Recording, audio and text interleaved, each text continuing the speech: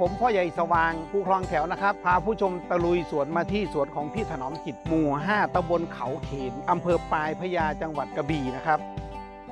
ผมถามหน่อย ใส่ปุ๋ยตองกล้าต้นละกี่กิโล ตอนเริ่มแรกเลยอะกิโลเดียว กิโลเดียวนะครับ ปกติเขาใส่ 3 กิโล 4 กิโล ใส่กิโลเดียว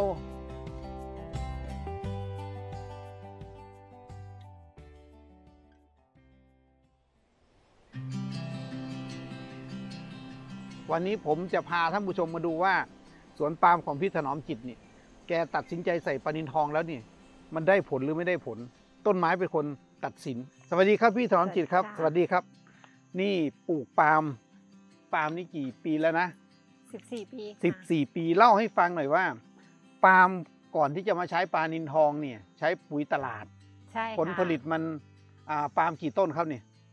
400กว่าต้นค่ะสี่ร้อยกว่าต้น แต่ก่อนนี้เคยใช้ปุ๋ยเคมีตลาดได้ แทงแต่ละครั้งนี่ มันได้เท่าไหร่ ไม่ถึงตันนะไม่ถึงตันโอ้โหถือว่า ถือว่ามันน้อยมากเลยนะใช่เออบางทีเราอาจจะดูแลไม่ดีก็ได้การมีส่วนหงนะหนึ่งอาจจะปุ๋ยไม่ถึงใช่อ่า อันที่สองอาจจะมันก็อาจจะผมว่าใต้นี่ดีกว่าอีสานนะใช่คือใต้นี่ฝนมันเยอะฝนแปดแดดสี่ใช่อีสานฝนสี่เดือน เต็มเต็มๆละสี่เดือนนี่ไอ้นั่นก็กระปิดกระปอยอ่าสี่เดือน แต่ก็ยังได้ที่ใช้ปลานินทองเขายังได้แทงแทงลูกขายตลอด นี่นี่คันนี้ใช้ปลานินทองมากี่ปีแล้วครับนี่ปีที่สี่ปีที่สี่แล้วปีที่สี่แล้วนะครับถ้ารวมสี่ปีแล้ว เริ่มแรกเดิมทีนี่ใครแนะนำให้เอามาใช้ ก็เหมือนเริ่มเริ่มขายของตามตลาดนัดแล้วอืมทีนี้ก็ถามพี่เขาเหมือนเวลาเห็นกล้วยเขาสวยอะไรอย่างเงี้ยว่าครับเขาใช้อะไร เขาก็บอกว่าใช้ปลานินทอง แต่เขาว่าจำสูตรไม่ได้ อืมแต่ก็ไปเรื่อยไปเจอนู่นนี่นั่นเขาก็บอกเออเนี่ยเหมือนปาล์มแถวหินดานเขาก็ใช้ปลานินทอง ครับแต่ก็ไม่ได้เชื่อ อืมเอาจริง ๆ ไม่ได้เชื่อ อืมอืมแต่เหมือนกับชีวิตมันพลิกแล้ว มันไปไม่ได้แล้วล่ะ อืมก็เลยวันนั้นเดินเข้าไปว่าของของพี่สุปกรณ์ลิมตระกูลอะ ครับ อ่าแกเป็นตัวแทนขายอืทีมเนี้ยเข้าไปแกก็แนะนำว่าเนี่ยมีที่ บ้านน้ำซ้ำอะเขาใช้อืมอยู่นะ ปรับปรุงดินอะครับ ก็เลยทดลองซื้อมา แล้วก็มาลงแค่หกต้น กระสอบหนึ่งแค่ 420 บาท 50กิโลใช่อ่ามาสใช้มัยนั้นสามร้อยแปดสิบบาท 380 บาทอืมคันนี้มาใส่แค่ 6 ต้นหกต้น ใส่ต้นละกี่กิโลครับ ต้นหนึ่งสี่กิโล4กิโล4กิโล เฉพาะปรับปรุงดินนะไม่ปรับได้ปรุงดินอย่างไม่เดียวเล่นเก้าเก้าผมอธิบายนิดนึงนะ ปรับปรุงดินปลานิลทองเนี่ยเขาเอาอินทรีย์มาปั้นเลย อ่าเพราะแต่อินทรีย์ปลานิลทองที่เขาผ่านการหมักมาแล้วนี่มันจะมี organic matter สิมันขึ้นอินทรีย์ไม่ได้ก็เลย ปั้นเป็นสารปรับปรุงดิน แต่ถ้าสารปรับปรุงดินในท้องตลาดมันจะเป็นโดโลไมต์ปั้นเม็ดเม็ดขาวๆน่ะมันไม่ค่อยได้ผล แต่ของปลานิลทองนี่มันจะมีคุณสมบัติแตกต่างคือมันเป็นอินทรีย์ พี่มาใส่แล้วนี่ นานไม่ถึงเห็นผล ไม่นานนะนานครับเพราะว่าเราเราเรายังใช้เคมีอยู่ด้วยนะเออเพราะเราแค่ทดลองจากส่วนหนึ่งก็ใช้เคมีไปใช่ครับ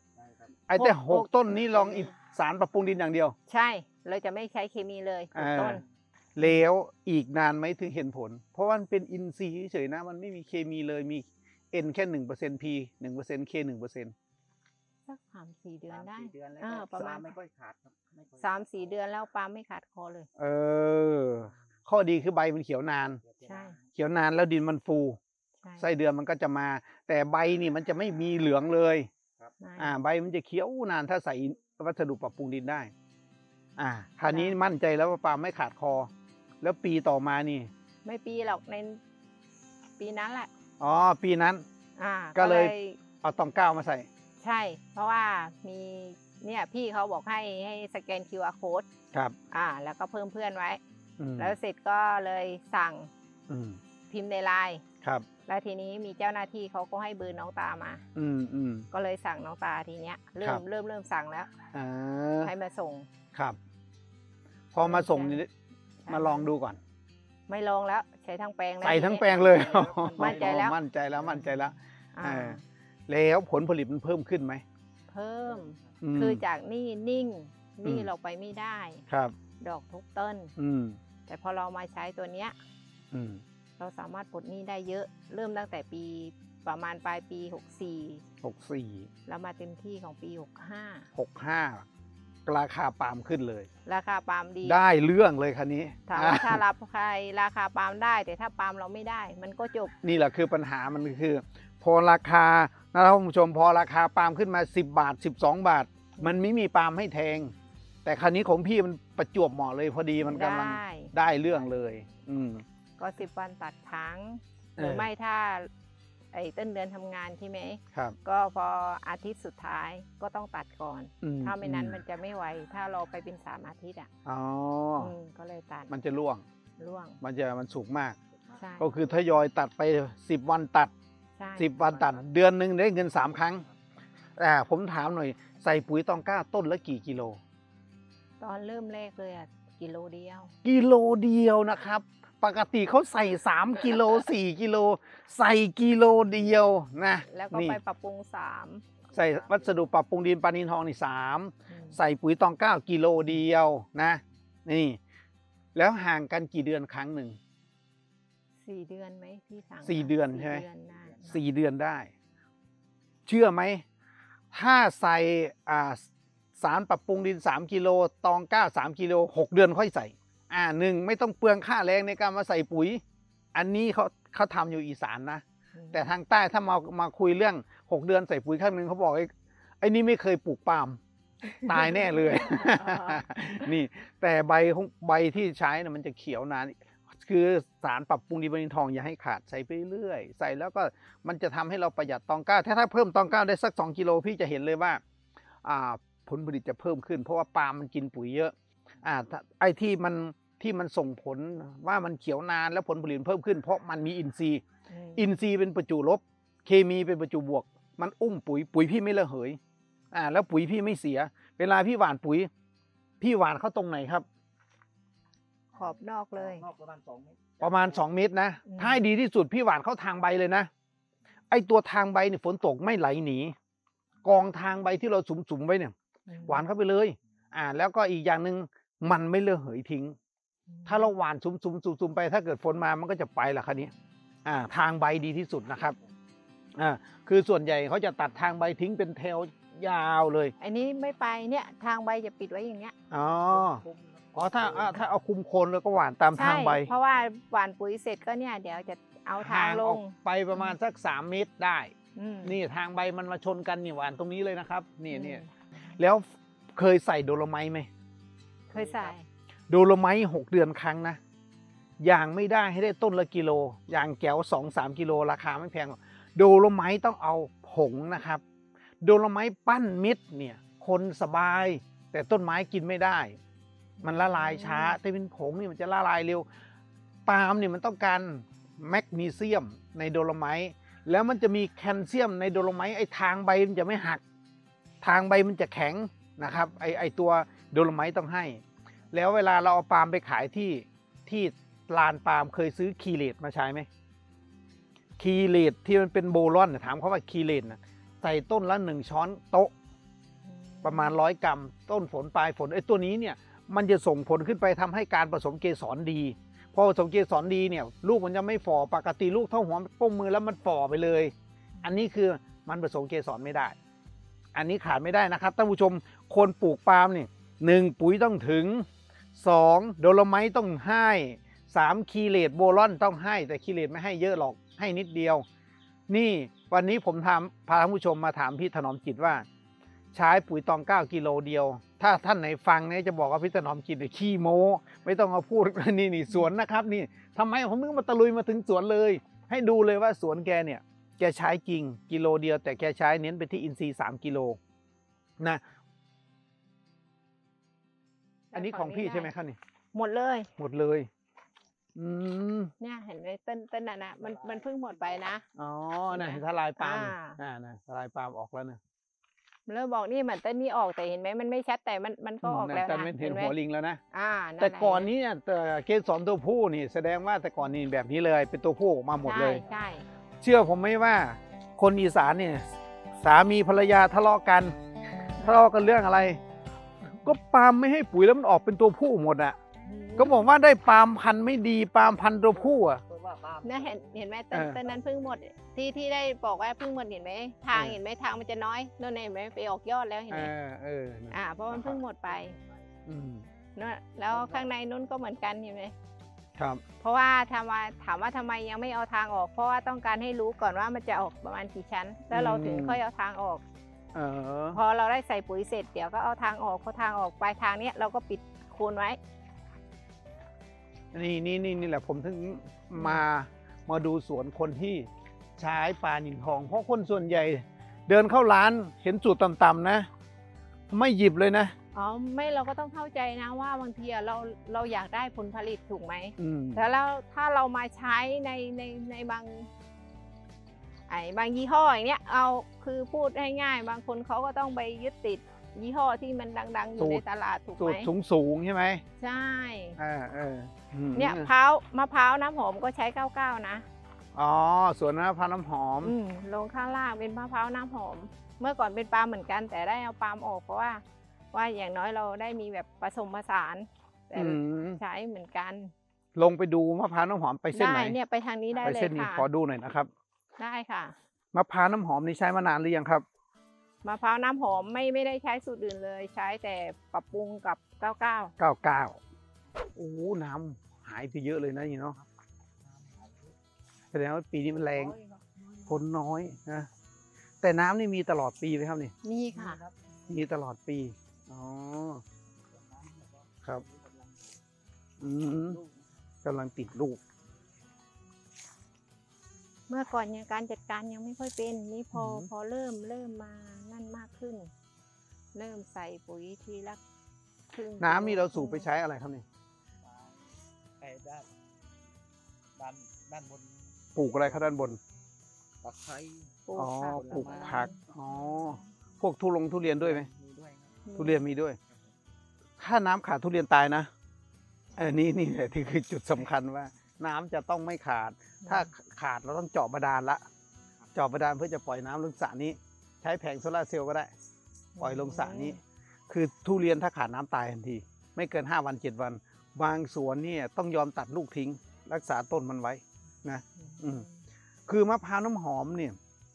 มันชอบเกลือนะ แต่ไม่รู้ฝั่งนี้นะถ้าอีสานมันจะต้องเอาเกลือมาใส่ใช่ค่ะ ต้นละครึ่งกิโลครึ่งกิโลปีหนึ่งสักสองครั้ง ใช่ค่ะแล้วใส่ปุ๋ยตองเก้าให้ได้ต้นหนึ่งประมาณสักครึ่งกิโล ใส่สองสามกำมือไม่ค่อยได้ผลเท่าไหร่นะ อาจจะใส่เดือนเว้นเดือน ใส่อ่าประมาณถ้าเป็นแล้วลูกนี้ใส่โลครึ่ง แต่ว่าถ้ายังไม่เป็นก็กิโลหนึ่งครึ่งอืมกิโลแล้วแต่เพราะว่ามันมีกระป๋องที่ช่างไว้อืมคืออมช่างน้ำหนักถ้าถ้ามันได้ถ้ามันได้กินปุ๋ยเนี่ยมันจะลูกดกกว่านี้ม ออกมาเท่าไหร่เป็นสิบเลยนะอ่าติดเป็นสิบอ่าที่สวนผมก็ทำอ่ามะพร้าวน้ำหอมนี่แหละ ใช่อืมเข้าเข้าไปดูคลิปอยู่เออผมเปลี่ยนที่นาเลยเปลี่ยนที่นาเป็นปลูกใช่มะพร้าวน้ำหอมเลยนะครับ หนูอืม หนูเข้าไปดูคลิปอยู่ ที่นี่มะพร้าวน้ำหอมก็ไปขายที่ไหนฮะขายเองบ้างมีคนมารับบ้าง อ๋อมีคนมารับตัด อืมนี่เห็นไหมเนี่ย มาแล้วเนี่ยมาแล้วมนี่มาแล้วนี่ พอได้กินปุ๋ยมันก็จะมาปาล์มดีนะของพี่มันมาตรงกับจังหวะที่ราคาดีเลย เออได้ฟื้นเลยนี่แหละผมถึงได้มามาอ่าพาท่านผู้ชมมาดูว่าสวนที่เขาใช้จริง ใช้จริงไม่อืมใช้สูตรอื่น ไม่ได้เป็นอะไรหน้ามาจริงคนส่วนใหญ่ก็ว่านี่แหละจ้างเขามาใช่ไหมไม่ไม่ไม่ต้องเออจ้างเลยค่ะ นี่ยินอืมดีเลยค่ะ ยินดีบอกเลยค่ะ เนี่ยเห็นไหมเห็นต้นนั้นอะเดี๋ยววันอาทิตย์นี้ก็ได้ตัดแล้ว อืมเนี่ยต้นต้นข้างหน้าเนี่ยค่ะนั่นเห็นนี่ไหมนี่ใช่ไหมแล้วเห็นไหมทลายอะทนี่ลายทจะใหญ่นะซีกเห็นไหมเออทลายใหญ่แล้วเนี่ยอ่าสามสิบกิโลถึงไหมคะเนี่ยมันเกือบแล้วนี่ออกมาแล้ว แล้วเวลาตัดนะ ถ้าเกิดมันออกมาบางครั้งอะต้นหนึ่งสามทลายเลยนะต้นหนึ่งสามทลายเลย ใช่รอบเลยเออเดี๋ยวเราดูเหมือนว่า เราดูเหมือนว่า อ่าปาล์มไม่เยอะนะอืม แต่มันซ่อนนะ ใช่ มันซ่อนเวลาแทงจริงๆได้เยอะนะ ลูกค้าผมอยู่อำเภอพระแสงอำเภอพระแสงแกบอกว่า ของแกไม่ขาดคอที่แกตัดสินใจใช้ปรินทองคือไม่ขาดคออืมแล้วเพื่อนๆเนี่ยเขาได้แค่300กิโลใช่200กิโลช่วงมันขาดคอนี่สามเดือนสี่เดือนนะอืมของแกบอกว่ายังไม่ได้ก็ได้สามตันอืมนะของแกห้าร้อยต้น อย่างไม่ได้ได้สามตัน แต่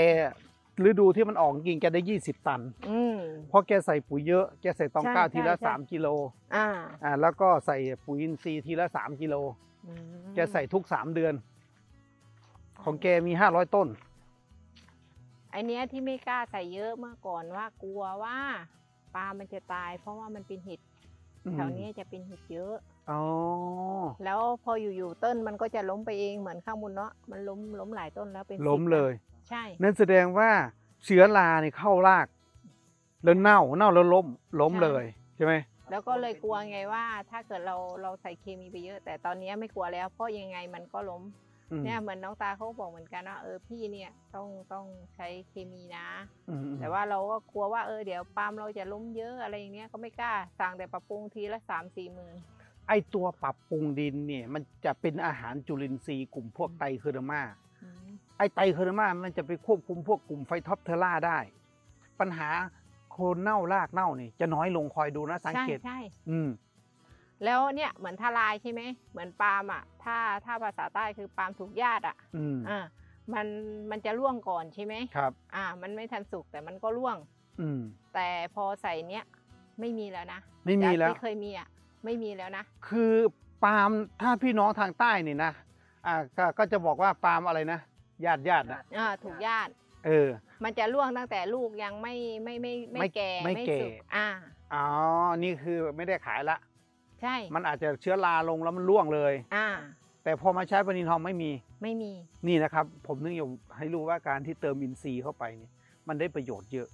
ประโยชน์เยอะเนี่ยหลายอะอย่างหนึ่ที่งทำให้ตัดสินใจพวกใช้รากเน่าโคนเน่าตามโคนจะไม่มีอืมอันที่สองโรคแมลงไม่ค่อยรบกวนด้วย ปกติมันจะมีด้วงมาเจาะโคนต้น ใช่อ่าที่นี่แต่ก่อนนี้กังวลเดี๋ยวนี้ไม่กังวลแล้วแถวทะเลหอยเยอะก็เลยเอาเยอะอืมเออเขาบอกว่าแถวทะเลหอยเยอะ ก็ยังกลัวอยู่เหมือนกันช่วงนั้นแต่ก็ ผ่านมาได้พก็อยังมาใช้ปลานินทองนี่มั่นใจแล้วนี่แหละผมนึกว่า ถ้ามาใต้แล้วถ้าไม่คุยใต้นี้จะว่าเป็นคนจังหวัดอ่าจังหวัดอื่นนะอ่าวันวันนี้นะครับ พวกเราเนี่ยมาใต้แล้วต้องแหล่งตายนะครับ อืมเอ่ากับพี่ถนอมจิต เอาผมอยากให้พี่ถนอมจิตเชิญชวนให้หน่อยว่า คนที่ปลูกปาล์มชาวใต้เรานี่ถ้าเกิดมีปัญหาหนึ่งอ่าปาล์มขาดคอสองปาล์มมีปัญหามันอ่าเป็นเป็นเห็ดเนี่ยมันล้มเนี่ยให้มาใช้ปลานินทองช่วยช่วยช่วยช่วยแนะนำให้หน่อย ไอเนียนคือความเชื่อนะอืมเอาเป็นว่าความเชื่อของแต่ละคนอืมแต่คือได้ลองใช้แล้วก็คือดีจริงอืมจากปาล์มเมื่อว่าลูกเป็นยาดเป็นเนี้ย มันก็จะไม่ มันจะให้ไปเลย มันก็คือจะเป็นทลายเต็ม มันจะไม่ไม่หลวงก่อน ไม่คือไม่หลวงก่อนที่ปาล์มจะแก่เพราะส่วนมากเพราะว่าปาล์มออกลายดำมันเนี้ยถ้าเกิดปาล์มทุกอย่างอะมันจะหลวงลงมาก่อนอืมซึ่งแปลงเนียนมีแต่มันก็ให้ไปแล้ว แล้วก็เหมื่อนจากที่ว่าเป็นเป็นเฮ็ดหมางหมากตอนนี้มันก็เริ่มดีขึ้น แต่ถ้าว่ามันให้มาไม่ให้หรอกนะ ถ้าบอกว่าให้มันคือเผ็ดอืมแต่ว่าคือมันดีขึ้นแล้วก็คือพอใช้แล้วอันปั๊มมันจะไม่คาดคอ คือเหมื่อนจาก ที่ว่าประสบการณ์ใช้เองอันคือใช้สูตรอื่นมาบางทีเราอาจจะได้ว่าใส่ได้ไม่เต็มทีหรือว่าเราอาจจะอ่าใช้ได้ปุ๋ยมันไม่ถึงได้เป็นเนี่ยเราก็แต่พอเห็นว่ามาใช้สูตรนี้แล้วมาทดลองใช้รอบแรกกันทุกต้นพอหกต้นถึงเห็นเลยว่าเออปาล์มมันไม่คาดมันออกมาทยอยให้เรื่อยๆตอนที่หกต้นท่านที่ทดลองมันคือแค่ปรับปรุงดินนะไม่ได้ว่าใส่ปุ๋ยสูตรทีแต่เพราะว่าร่างว่าเออเห็นหกต้นนี้มันได้พ้นจริง ก็เลยตัดสินใจใช้มดถังแปลง ซึ่งก็ใช้ถังปรับปรุงดินถังปุ๋ยสูตร ซึ่งจากชีวิตที่ว่าเสียนี่ไม่ได้ ไอ้นี่ก็เป็นความเชื่อนะไม่ได้เป็นหน้ามาไม่ได้ได้ทั้งสิ้นแต่ว่า คือจากเจอเองประสบการณ์เอง ซึ่งก็เลยบอกได้ว่า